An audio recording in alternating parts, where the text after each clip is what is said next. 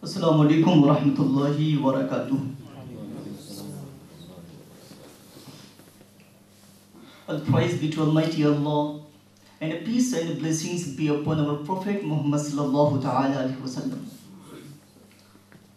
I request to all of you to recite Holy Durud upon our Prophet Muhammad sallallahu ta'ala alaihi wasallam. Recite Allahumma salli ala sayyidina shafina habibina maulana Muhammadin barik wa sallim. Salatu wa salamun alayka ya Rasulullah sallallahu ta'ala alaihi wasallam. Today I am so happy to have got an opportunity to deliver my speech. And I don't have words to express my thanks to my respected teachers who provided me this golden chance. Honorable teachers, dear friends and audience, today my topic is Islam versus other religions. The time is very limited, but I will try my level best. Today Muslims are facing many problems and difficulties everywhere. Muslims are being killed around the world in the name of terrorism.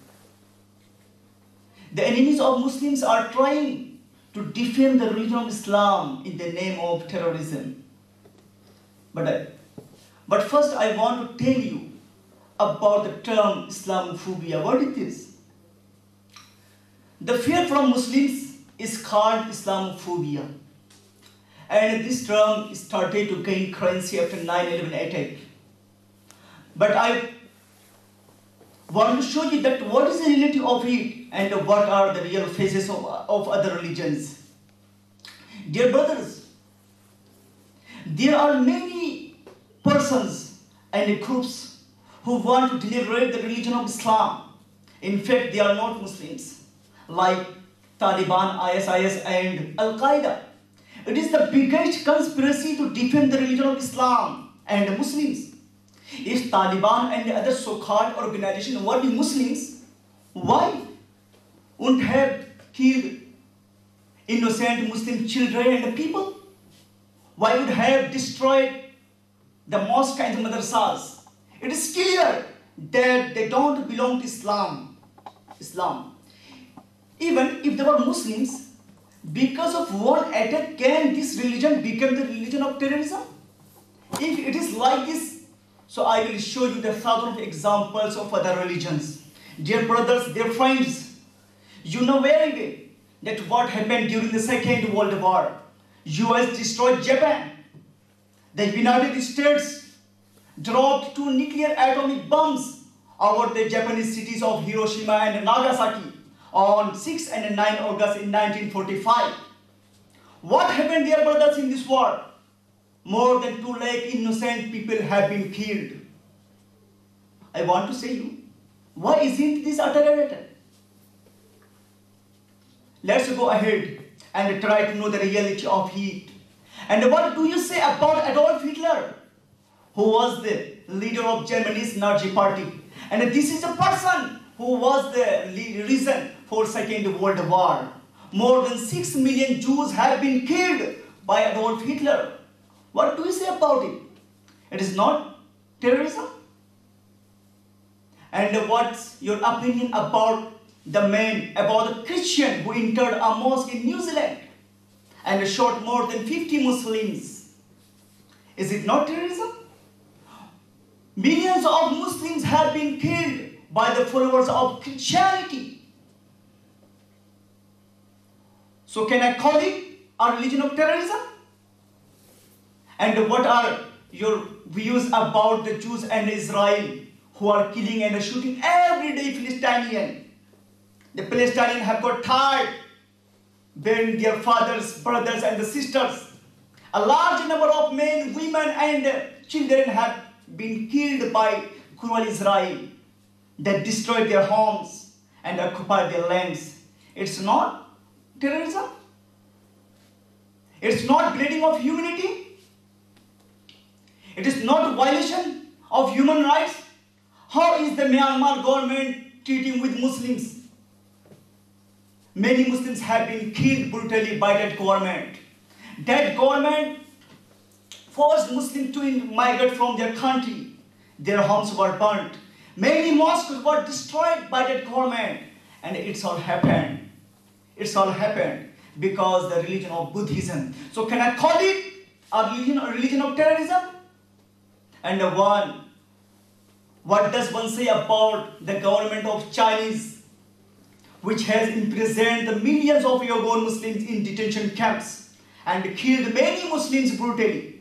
Muslim women are being are being raped by the government forces. And nearly half a million children have been separated from their parents, from their families. Is it not terrorism? In fact, it is terrorism, and we can call it state-sponsored terrorism. My dear friends, you must have realized by now that every religion is promoting terrorism and hatred. But I want to show you that what is the reality of Islam and what are its teachings about humanity. The word Islam gives its own introduction that there is only peace. There is no place of there is no place and space of hatred and terrorism in Islam. The Almighty Allah says in Holy Quran in verse 5, in chapter 5 and verse 32 and 3, Whoever kills a human being expect in lieu of killing or causing turmoil in the earth, it shall be as he had if he had killed all mankind. And who saved the life of one person, it should be as if he has saved the lives of all mankind. Our prophet, peace be upon him, forbade his companions from hurting and mistreating with animals our prophet of mercy, our prophet of humanity, didn't allow cutting the green trees. My dear brothers, I want to ask you, when our Islam doesn't permit us, doesn't allow us the hurt to hurt animals and the cut green trees, then how can our Islam permit us to kill, to kill innocent men and people, to kill innocent people and children? whoever kills people in the name of Islam or Muslims, they are in, in, in, reality, they are not Muslims. They want to defend, they want to distort, they want to denigrate, denigrate the religion of Islam. And what is the value, humanity in Islam? I want to show you by one hadith. Our Prophet, peace be upon him, said, there was a lady in Israel who had a cat, but she didn't provide food and water to the cat. Ultimately, the cat died. The prophet of humanity said, Almighty Allah punished that lady and threw her into the hellfire because she became the reason of killing that cat. It is clear that Islam, Islam is the religion of peace. Islam is the religion of humanity. I conclude my speech from here. Uh, thanks for listening to me. Assalamu alaikum wa rahmatullahi